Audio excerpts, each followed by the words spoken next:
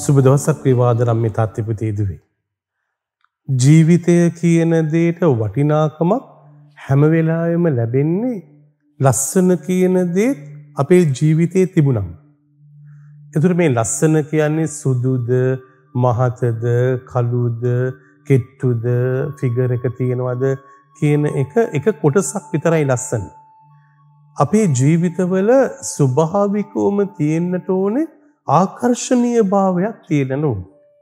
මේ ආකර්ශනය භාවය තිබුණම තමයි අපි ඕනෑම තැනක නතරවෙන්න. අපි මල් ඕන තරන් දැක්කත් අපේ සිතට ගැටෙන්න තැනක මලක් තිබුණොත් ඒ මලළඟ අපි නතර වෙලා බලන ඕ ලස්සන මලක් නේද. ලස්සන ගහක් නේද. ලස්සන දිය ඇල්ලක් නේද. ලස්සන පුටුවක් නේද. ලස්සන ගෙයක් නේද. ලස්සන වාහනයක් නේද. ලස්සන ජීවිතයක් නේද. මේ විදියට දැන් මේකෙන් මොකක්ද වෙලා තියෙන්නේ? ඒ භාණ්ඩයේ ලස්සන නිසා නෙමෙයි. ඒ භාණ්ඩයේ ඇතුළේ විකාශනය වෙන ලස්සන අපේ ජීවිතවලට මුණ ගැහෙන විදිය විවිධයි. ඒ නිසා තමයි කෙනෙකුට ලස්සන දේ අනිත් කෙනාට ලස්සන නෑ. තව කෙනෙකුට ප්‍රසන්න නෑ. ඒ නිසා තමයි කෙනෙක් කියන්නට පුළුවන් මොකක්ද අනේ ඕකේ තියෙන ලස්සන? මොකද්ද ඕකේ තියෙන වටිනාකම? ඕක මේ සාමාන්‍ය දෙයක් නේ. හැබැයි ඒක එයාට සාමාන්‍ය දෙයක් වුණාට තවත් කෙනෙකුට ඒක සාමාන්‍ය දෙයක් නෙමෙයි. ඒ නිසා තමයි මේ ලස්සන කියන දේ ජීවිතේ වෙනස් වෙනවා. එතකොට මේ වෙනස් නොවන ලස්සනක් තියෙනවා. මොකද්ද මේ වෙනස් නොවන ලස්සන? ඒක තමයි දේවිකත්වයේ ලස්සන.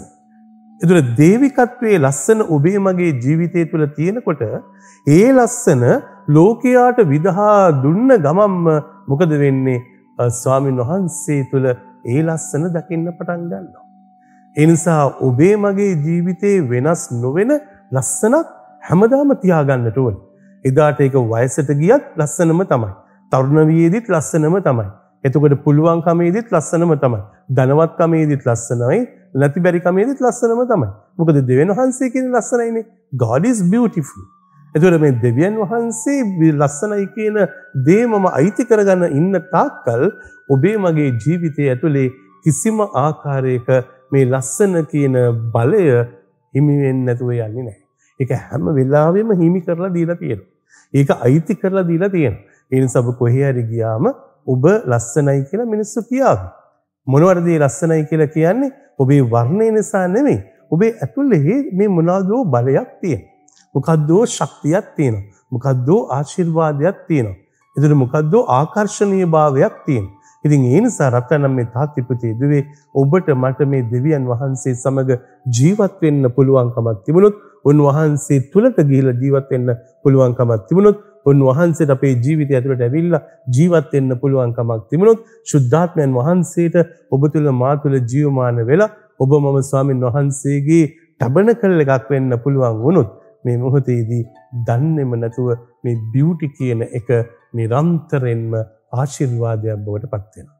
ඒ නිසා රත්න මේ තාත්තිපතේ දුවේ ඔබේ මගේ ඒ ලස්සන ගතිය ආශිර්වාදයක් බවට පරිවර්තනය කරලා මිනිසුන්ට පෙරලා දීමේ හැකියාවක් ඔබ මාගාව තියෙන්නට ඕනේ.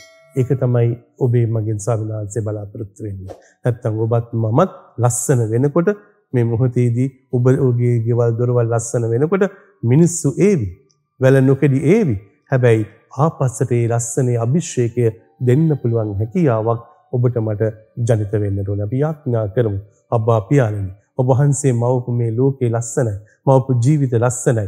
එබැවින් මේ ලස්සන ඔබ වහන්සේගේ ලස්සන විදහා පාන්නට අවශ්‍ය කරන මාවත් ඔබ වහන්සේ ලිපෙහෙලි කර දෙමින් මේ දුවා දරුවන් සියලු දෙනා ආශිර්වාද කරමින් නිරන්තරයෙන්ම කිසිම දවසක අවලක්ෂණ නොවන ඔබ වහන්සේගේ දේවිකත්වයේ ලස්සනකම මේ සියලු දෙනාගේම ජීවිත තුළද ඔවුන්ගේ භූමීන් තුළද ඔවුන්ගේ යාන වාහන තුළ ඔවුන්ගේ ගණදනු තුළ ඔබ වහන්සේ ස්ථාපිත කළ මැනව.